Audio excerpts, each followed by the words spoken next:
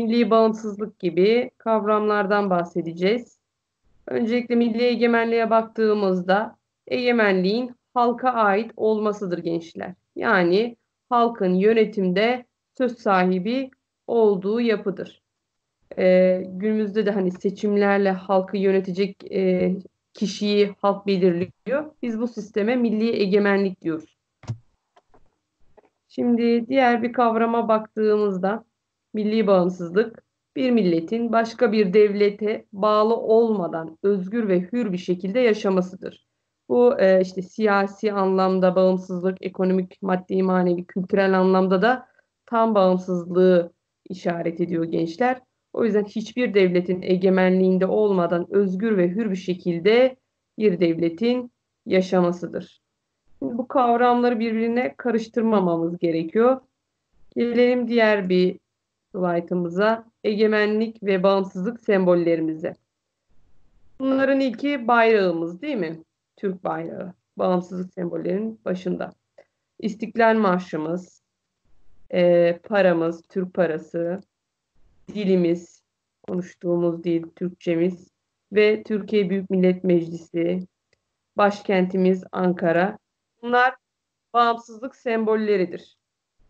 Gelelim tek tek bunları açıklamaya. Bayrağımıza baktığımız zaman bağımsızlığımızın sembollerinden olan ay yıldızlı al bayrağımızdır. Osmanlı son döneminden bu yana da günümüzde de kullanılmaktadır. Anayasamızın değiştirilemez maddeleri arasındadır gençler. Kırmızı oluşunun anlamı ise bayrağımızın rengi şehitlerimizden, şehitlerimizin kanı temsil ettiği içindir. Ve e, tabii bu bayrakla ilgili kanun var, bayrak kanunu var. Bayrağı koruma adı altında. E, bu nedir? İşte bayrağımız hiçbir şekilde şeklini ya da sembolünü değiştiremeyiz. Ya da işte e, yırtık, kirli, e, görüntüsü bozuk olamaz. E, ve ona dönük selamlarız. Bayrağımızı hani belirli resmi durumlarda indiriyoruz ya da yarıya çekiyoruz.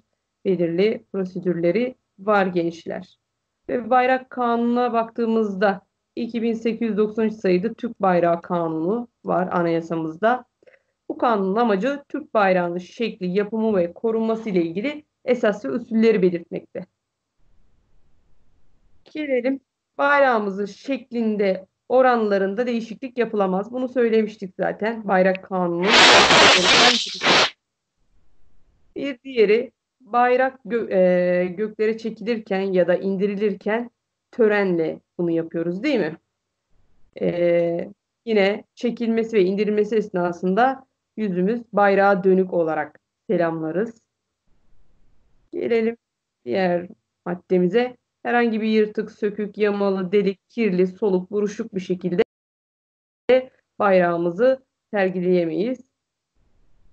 Resmi törenler dışında masalara, kürsülere, herhangi bir yere örtü olarak kullanılamaz. Bir kıyafet şeklinde tasarlanamaz. Ee, bayrağımız bizim bu anlamda önem verdiğimiz bir durum. Oturulan veya ayak basılan yerlerde de kesinlikle bulundurulamaz. Ee, elbise veya üniforma şeklinde de kullanılamaz. Bunu da